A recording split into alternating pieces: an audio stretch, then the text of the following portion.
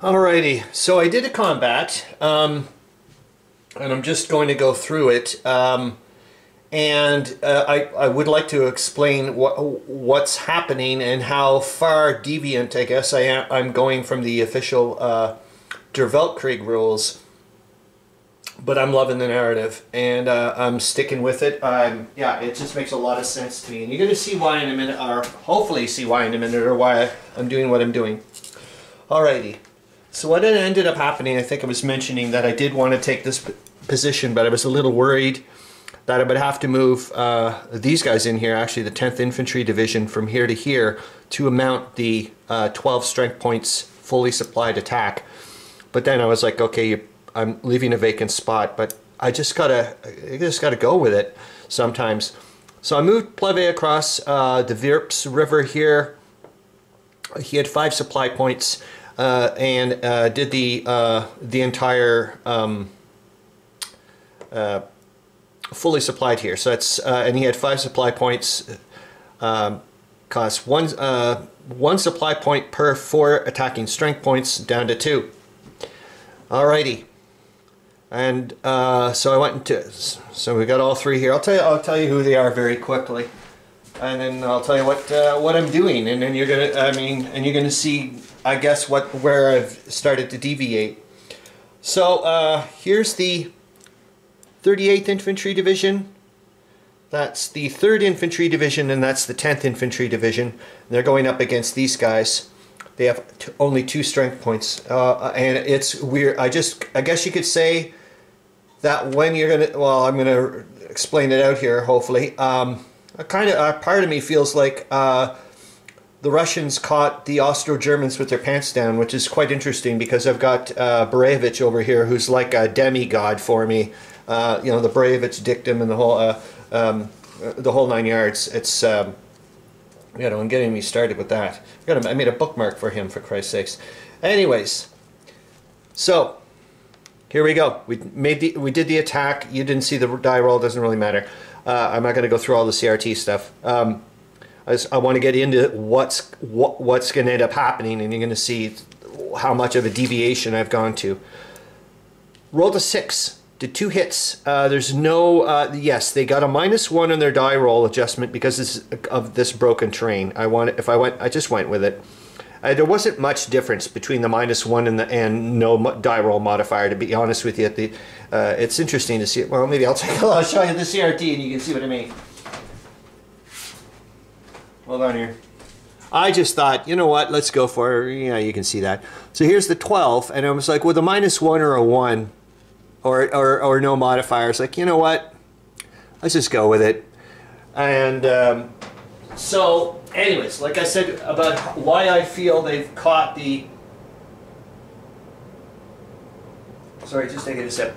Austro-Germans by or, or their pants down is one of the reasons why the Austro-Germans brought in, well, it was Austro-Hungarians and then brought in a German brigade, which happens to be the German 22nd Landwehr uh, Brigade, and they're along with the Austro-Hungarian KUK 110th Landwehr Brigade, both one strength points each.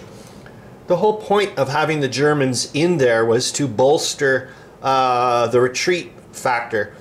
For Austro-Germans, uh, oh, sorry, for Austro-Hungarians and Russians and all that stuff, it's one third uh, the amount of hits they would have taken.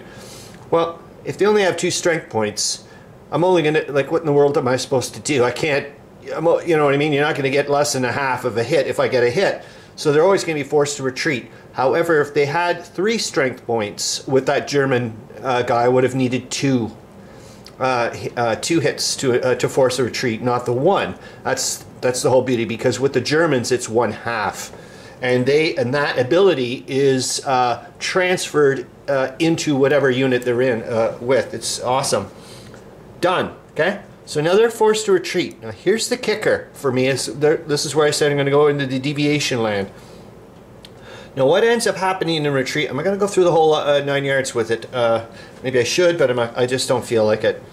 Uh, sorry.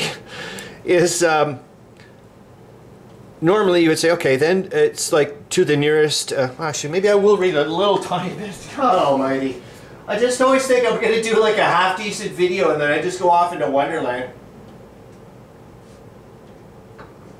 Jesus Christ. Anyways, well, I do have to grab the rules for a little bit because it took me. A, well, I actually did this like I did this combat. I made a video of this this morning, and I went, "Whoa, you're getting into uh, column attacks," and I just don't understand this uh, properly. Anyways, what it gets down to for the uh, I'm not gonna. What it gets down to for the retreat is they mention constantly. Um, supplying headquarters okay remember i'm like off into um, um, connecting uh, units to certain corps and all this stuff. And I'm still uh, don't want uh, each armies to talk to each other proper. Even though I'm starting to uh, read up later on, just early days about the Brusilov offensive and whatnot, and starting to find out that people are starting to uh, clue in that uh, the communication back, like once things started getting going, and just with the mobile. I know it's not like super duper ultra mobility, a lot more mobile than a lot of other things and the destructive nature of the uh, of the artillery and so on and so forth was just destroying communication so fast.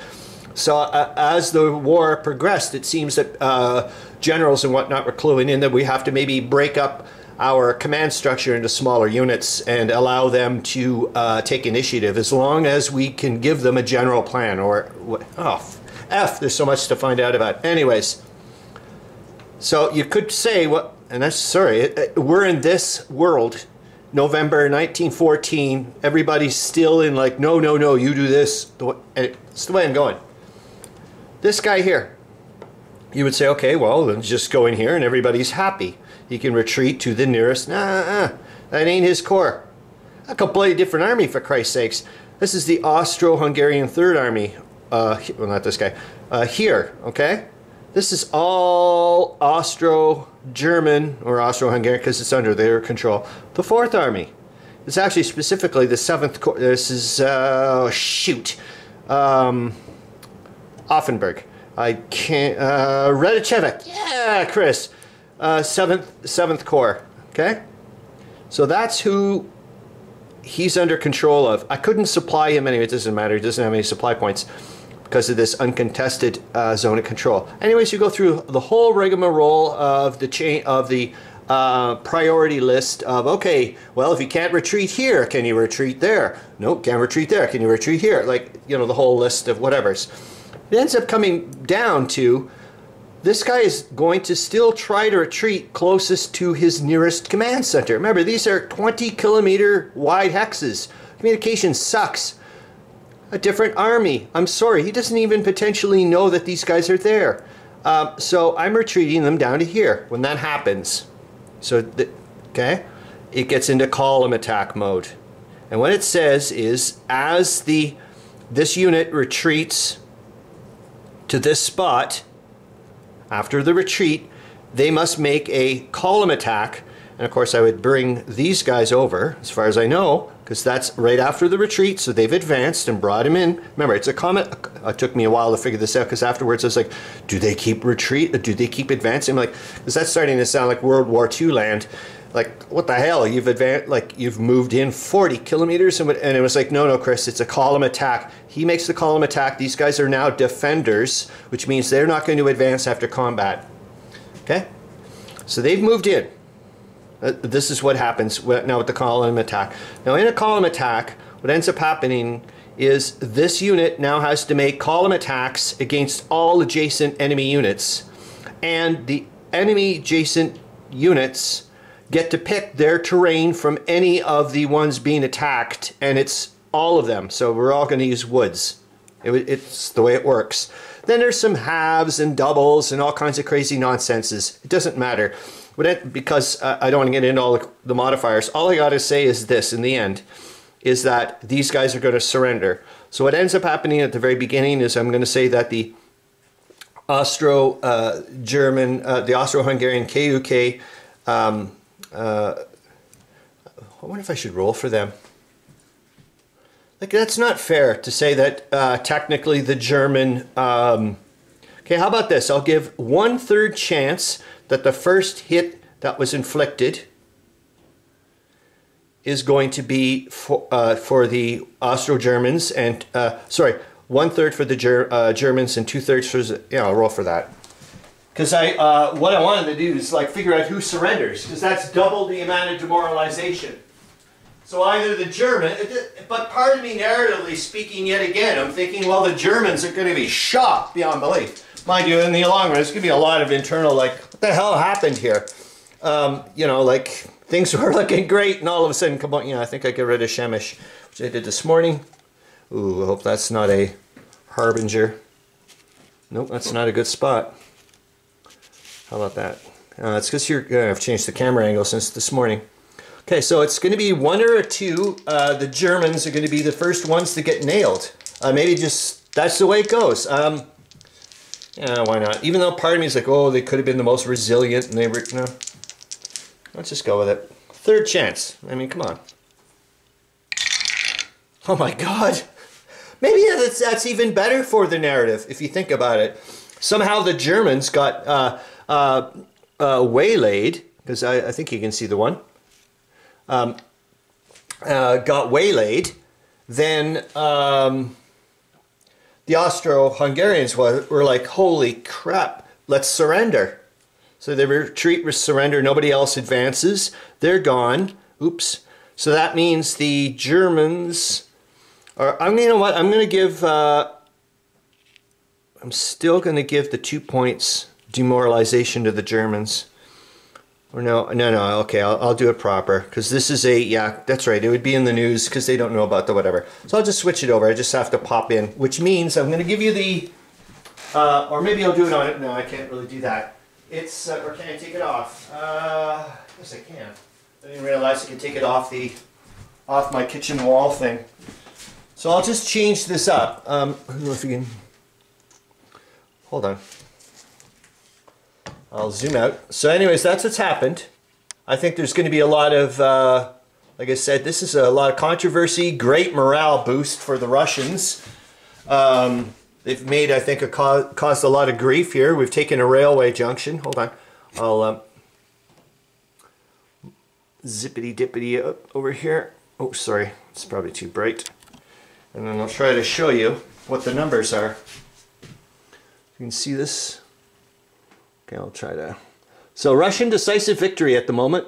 Uh, Central Powers are 154 point, uh, demoralization points more than Russia. So I have to change that to Austria-Hungary is going to have 150. Germany will have 322. The Central Powers still stay at 472. Russia's at 318. And the magic number is 91. What the hell does that mean? That means somehow the Central Powers have to figure out of getting the Russians to accumulate 91, hello, 91 demoralization points by the end of November just to drop the Russian decisive victory down to something like a marginal victory or a strategic victory or but anyways, all I got to say is, remember I was talking about, uh, I'll bring it down here, you don't have to look at this crazy nonsense, is that, um, remember that uh, I was saying that you could say that, yeah, the Germans and the Austro-Hungarians, when you look at the map, they're winning the war, uh, sorry, the battles or whatever, but they're not winning the war based on demoralization and the way it's going. But of course, I'm going to continue on with this thing, I'm, you know, as we go on. But just fascinating stuff, man. I love it. Okay, hope you're having a great time. See you, man.